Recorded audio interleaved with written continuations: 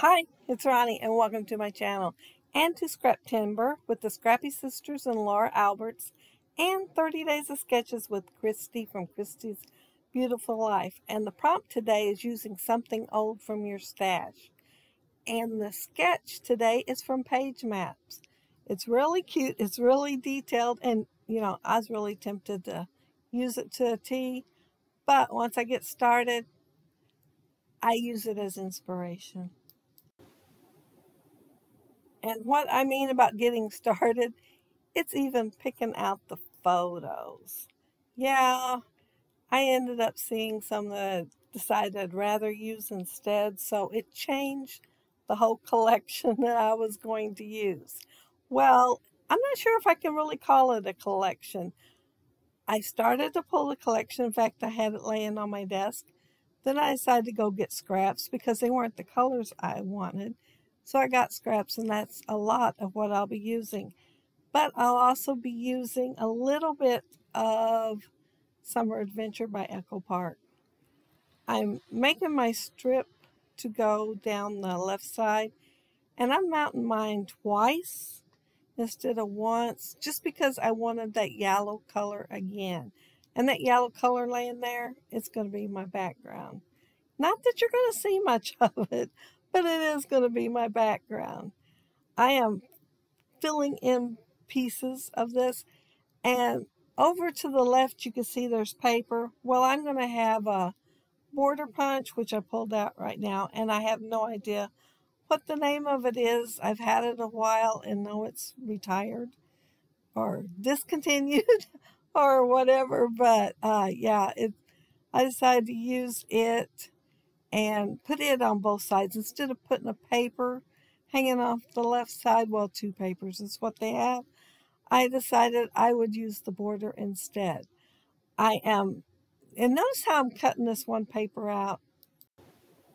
I am stopping it at the cloud that's going up a little bit.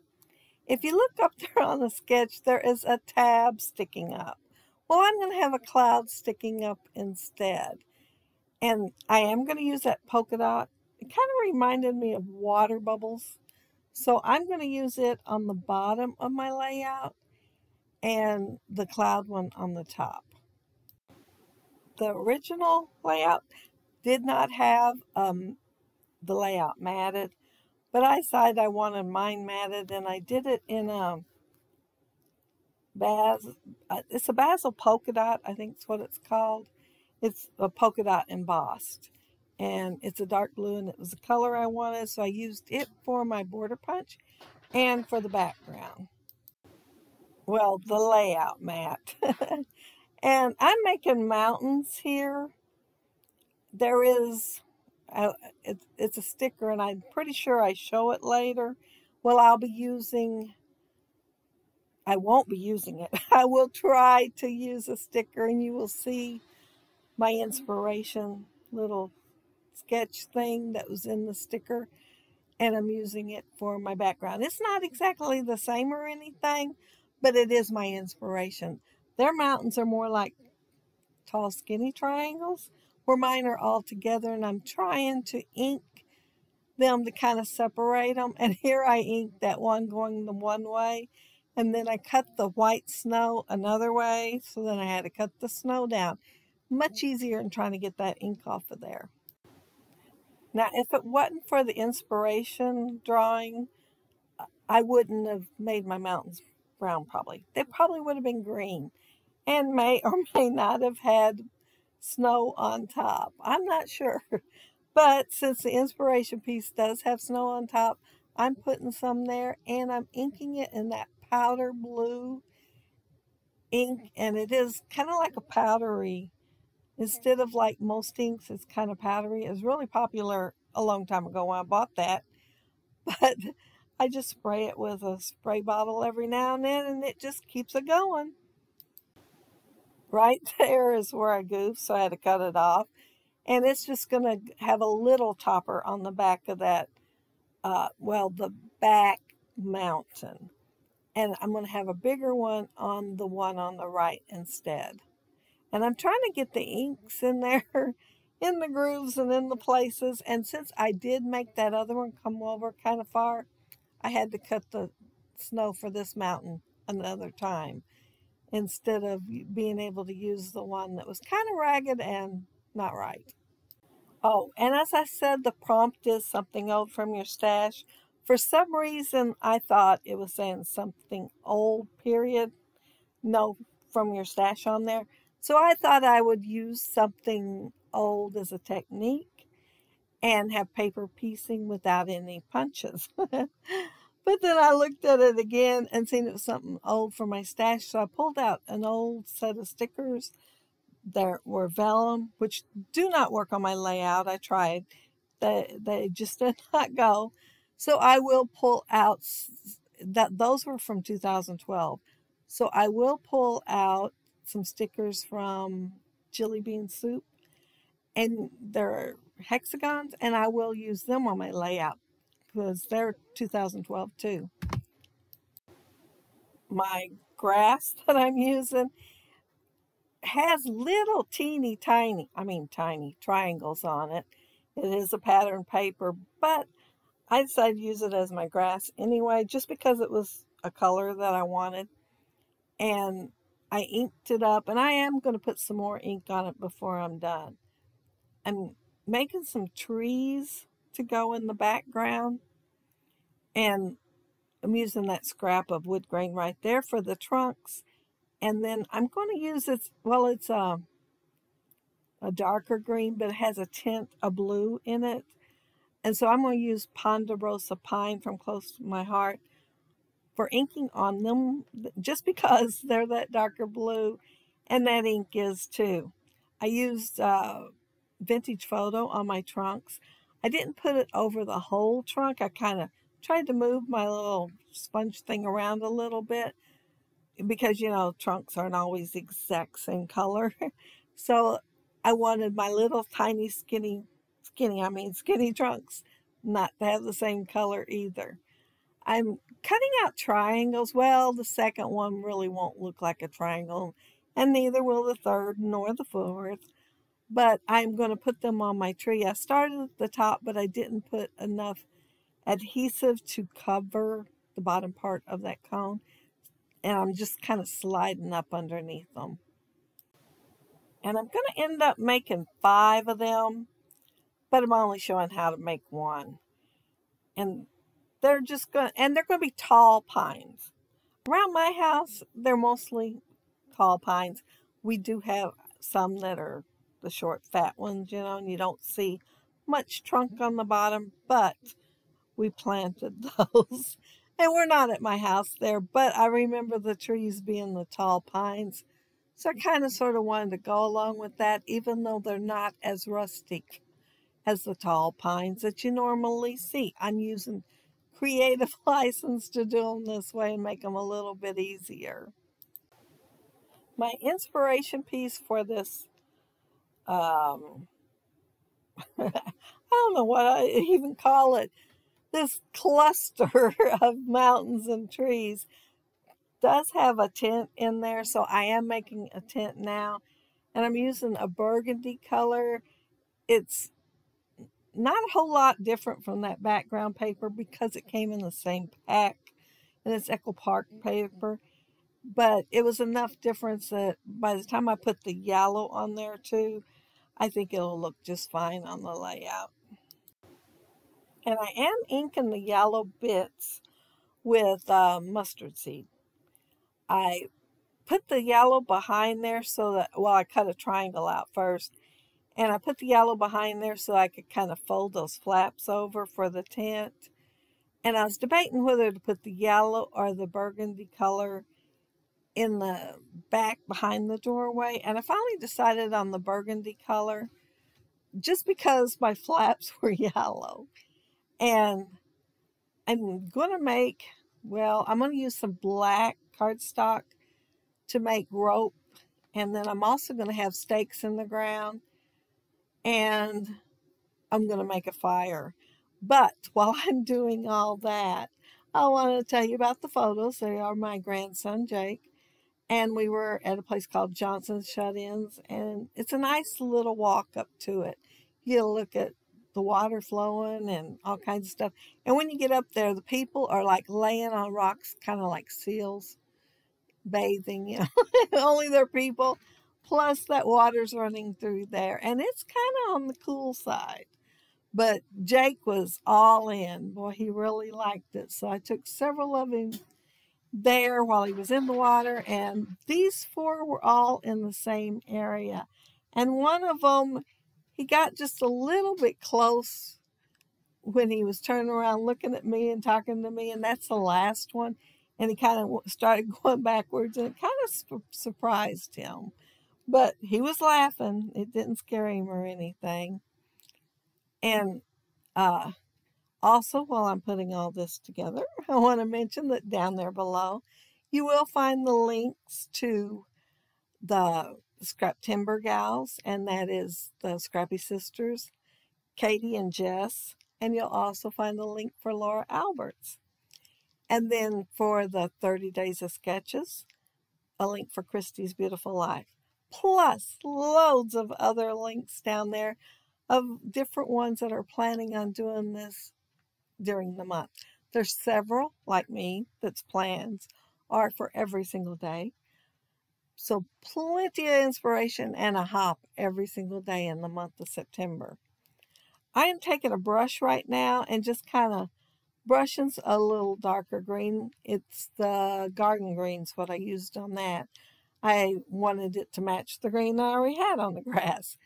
And I will put some underneath the tent and also where the stakes are for the string, which is that black cardstock. It isn't really string. I thought about getting string and then I decided it'd be just as easy to go ahead and cut some black cardstock instead.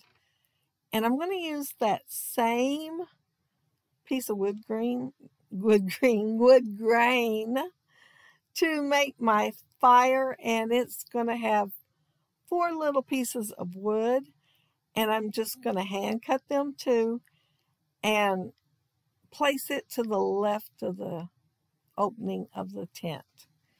And I'm looking at it and thinking it needs something else. And so, yeah, I will end up fussy cutting something to put inside the tent also. Oh, here I am putting the ink under the tent and also under the stakes. And I think I I, there, I put some while I was putting the tent up by the tent for my fire. So there would be a little bit darker grass right there. And I'm just kind of guessing at it. I want to do some flames with the scraps from the yellow. And there was like a little orange one in the little scrap container. Well, it's not that little. It's not as little as my flame. Let's put it that way. And I'm going to make my own flame to go with it. And I'm making it like the one that is on the sticker, which you will see soon. And yeah, I'm just doing four there. And I was thinking I need to do the ends rounded like it's been cut. The firewood has been cut. So instead of cut, trying to cut a little circle down there, I'm going to pull out um, colored pencil and I, I could not tell you what the color is. It's kind of a cream color because I was thinking the inside of the little logs. So I wanted it lighter. And yeah, there it is. It's a cream color, I think. That's what it looks like to me anyway. And I'm just uh, coloring in the ends into a circle. And here I'm making the flame and watch me the first time. I decided, oh, that's too big. So I had to turn around and do it again. I didn't even finish cutting it out before I decided that. And I'm just making flames going up because that's what the inspiration piece has. And I'm going to do the orange colored one the same way, only I am going to uh, make it quite a bit smaller because that's what they did in the inspiration piece. I might have done my fire a little different if I wasn't trying to do it the same way.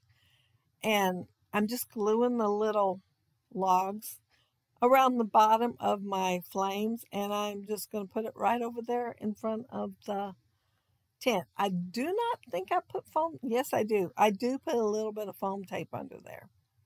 Yeah, that I decided it needed to come forward just a little bit. So I added the foam tape on there. And here's what I decided to put inside the doorway. And it's just a little boy and he was looking out of a teepee. And he, I thought, oh, he's just a little bit on the small side. But then I thought, no, this is a family tent. A family of several are sleeping in there.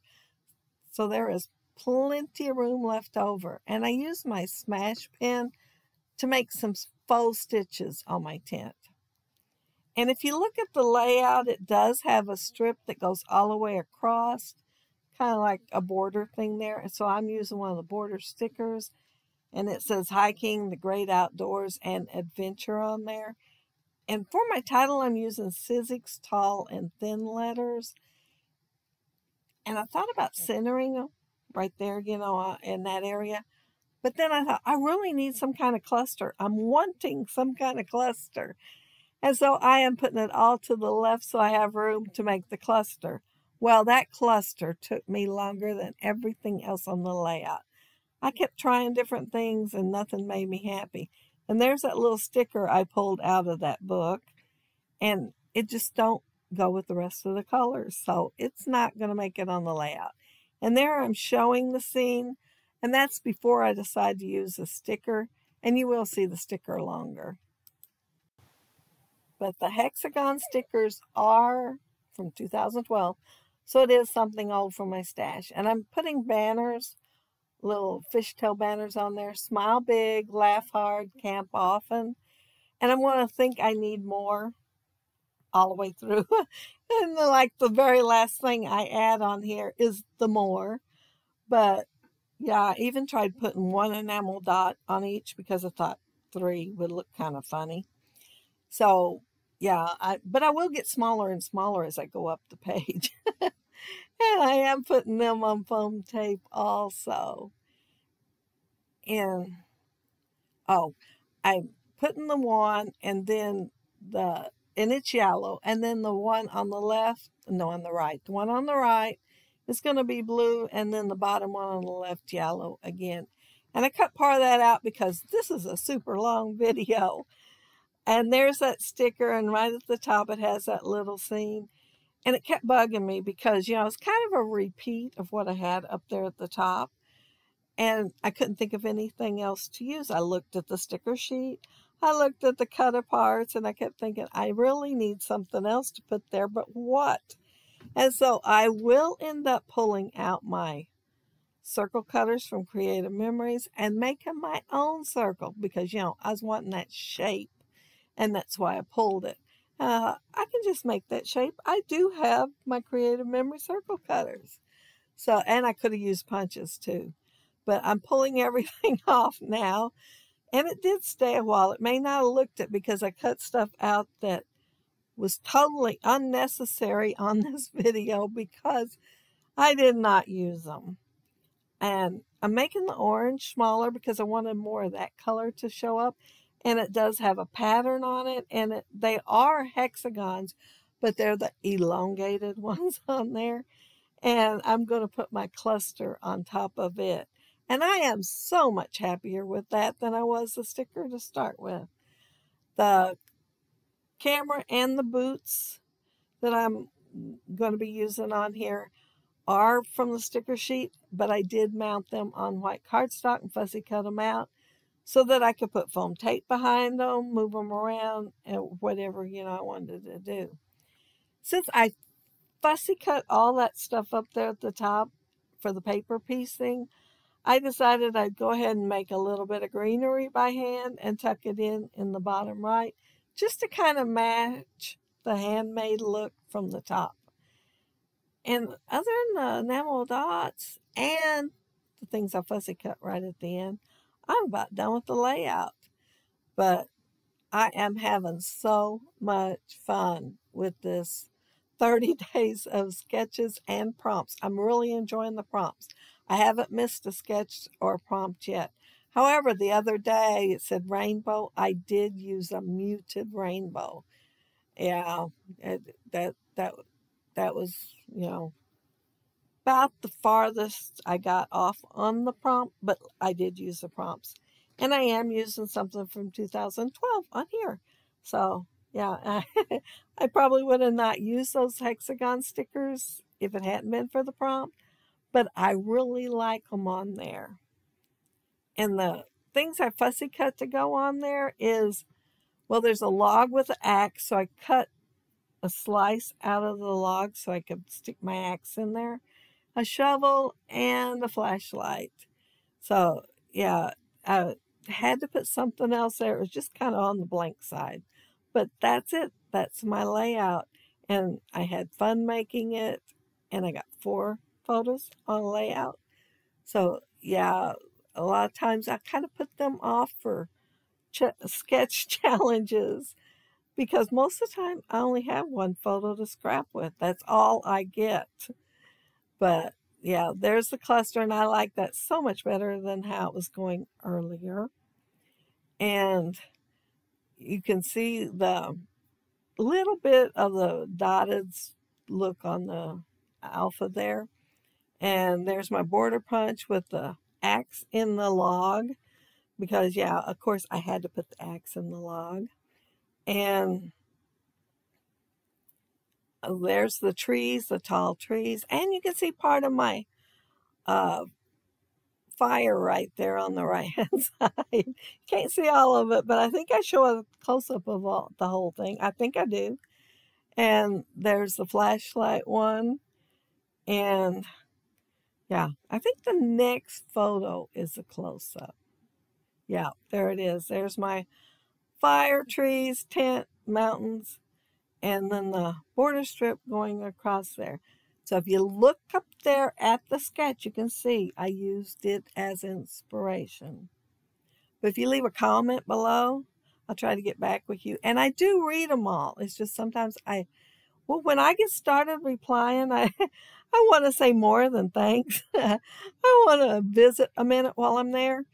And so I kind of put it off till I got time and then I get behind. But yeah, that's it. That's my layout. And if you like the video, hit, please hit a thumb up, thumbs up. And if you are not subscribed to my channel, I'd love to have you subscribe. And those you already are, thank you so much. But have a happy, scrappy week. Take care and stay safe. Bye.